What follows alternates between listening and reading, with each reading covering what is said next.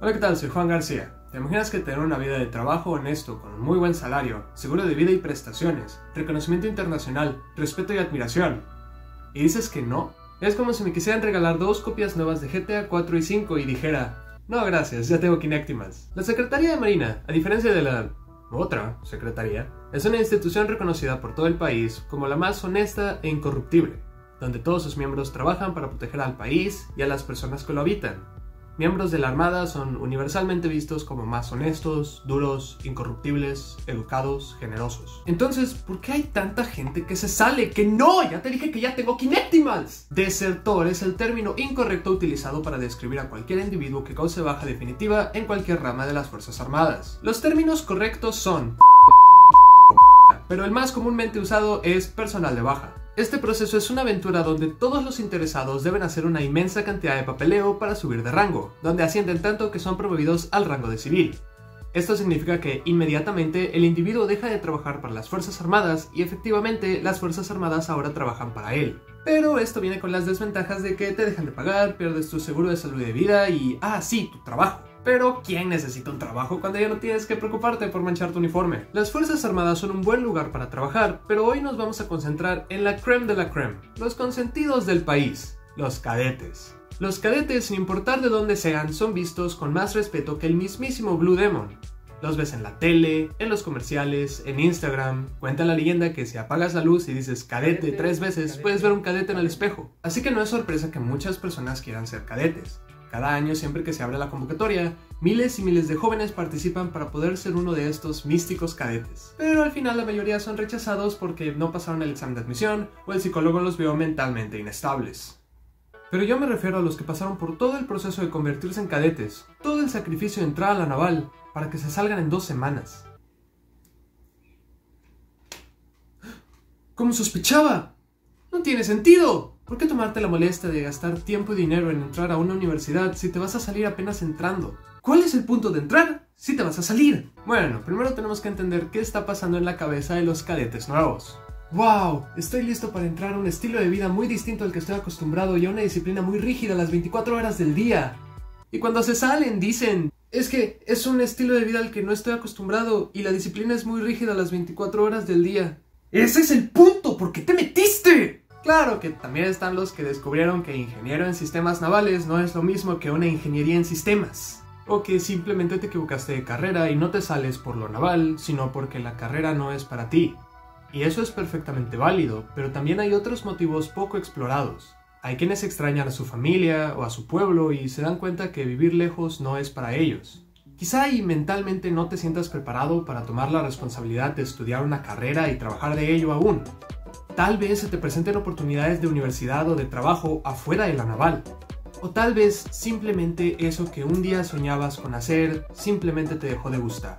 Como cuando compras Kinectimals y estás súper emocionado por jugar Kinectimals, pero después de 5 minutos te das cuenta, ¿por qué demonios estoy jugando Kinectimals? Entonces sí, hay muchos motivos para salirse, pero también hay muchos motivos para quedarse.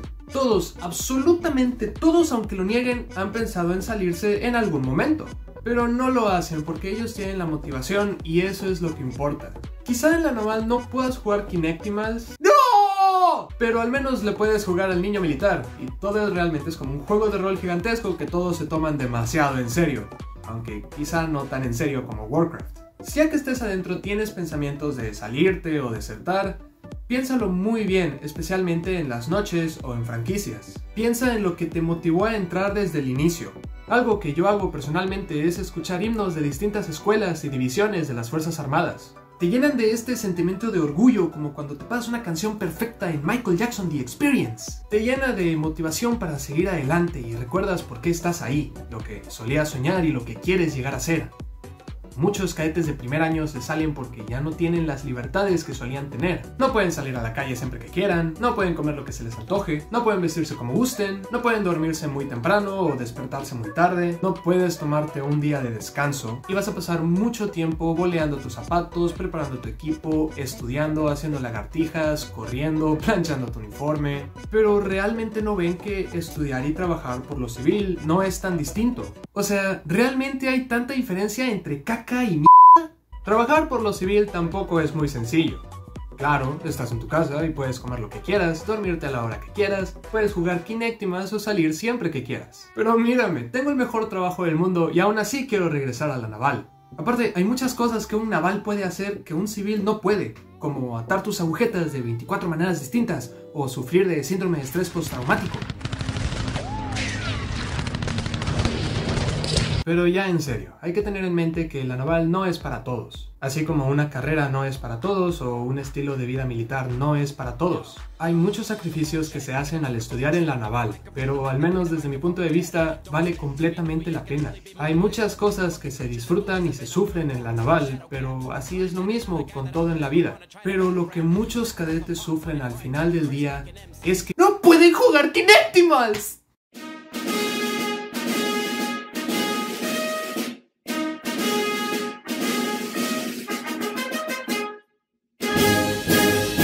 Gracias a todos por ver este video. Lo que acaban de ver es un formato de video con el que voy a estar experimentando y quiero hacer mis siguientes videos de esta manera. Decidí cambiar un poco las cosas porque sentí que mi contenido ya se estaba sintiendo muy igual. Aparte, quiero hacer algo que me gusta. Sé que no tengo mucho tiempo para seguir haciendo videos porque voy a regresar a la naval. Así que voy a hacer estos videos de esta manera porque son más entretenidos para ustedes y para mí. Esto es el contenido que quiero hacer ahora y si hago algunos cambios en el futuro es porque saben que son cosas que yo quiero hacer con mi canal y mis videos. Quiero hacer esto porque yo lo quiero hacer y no porque sea una obligación. Y referente al tema del video, sí, hay muchos que se salen apenas entrando por cualquier motivo, como les dije en el video. No les gusta o simplemente no pueden con la rutina, con los ejercicios, con la disciplina. Simplemente no les gusta. No se asusten si muchos se salen, es completamente normal.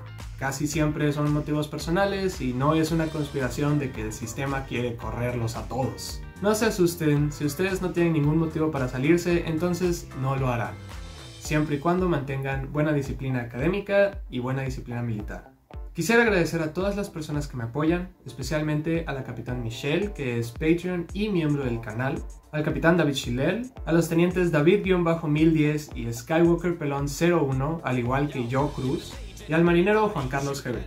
Síganme en Twitch, hago directos todos los lunes, miércoles y viernes, así que no se los pierdan. Suscríbanse al canal si les gustó este video y voy a hacer muchos más así en el futuro. Espero les guste, si les gustó dejen su like, suscríbanse y pongan la campanita de notificaciones para que no se pierdan ningún video futuro acerca de la naval. Twitter e Instagram.